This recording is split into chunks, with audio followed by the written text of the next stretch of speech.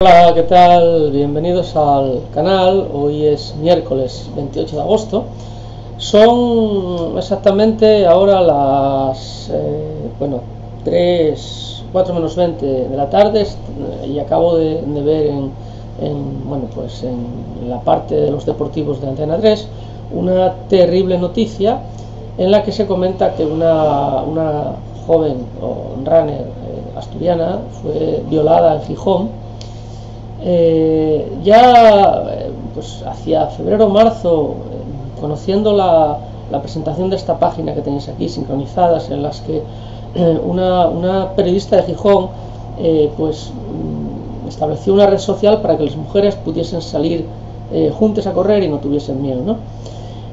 yo puedo deciros que llevo 35 años haciendo atletismo y nunca en mi vida, y entrené ahora es bastante tardíes, incluso por la noche, por la mañana muy temprano, nunca tuve la sensación de tener miedo, ¿no?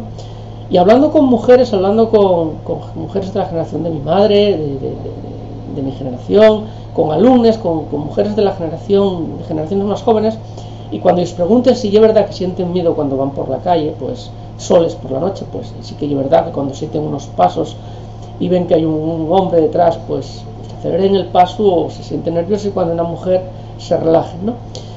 Eh, una sociedad que, que se normalicen estas cosas, violaciones, manaes, eh, atentados contra los derechos y, libertades de, del 60% de la población, o 50 y pico por ciento de la población española, que son las mujeres, tienen que mirarse muy adentro, muy profundo y plantearse muchas cosas.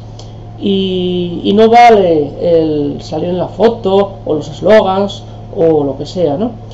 Eh, Blanqui, la amiga Blanqui, que es la presidenta de Mujeres Progresistas Asturianas, salía verdaderamente indignada en, el vídeo, algunos compañeros del tartán o, del asfalto que salían a correr se sentían eh, pues nerviosos, eh, en peligros, si no salían soles no, lo, no, no, salían a correr y si no salían con su pareja no salían a correr y algo muy triste, que una persona eh, tenga bueno, que, vivir con cortapises, con, con, miedo a ejercer toda su libertad, porque haya eh, personas que, se hacen de su capa un sayo y que intenten, bueno, pues ejercer su voluntad contra el derecho de los demás.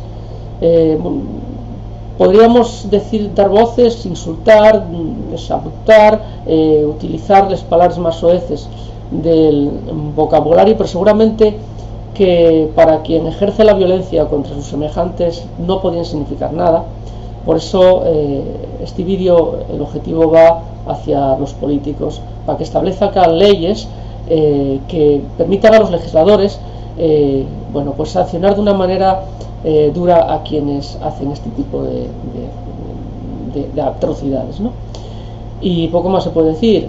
como siempre, agradecer vuestra presencia en el canal, hoy más triste que otras veces.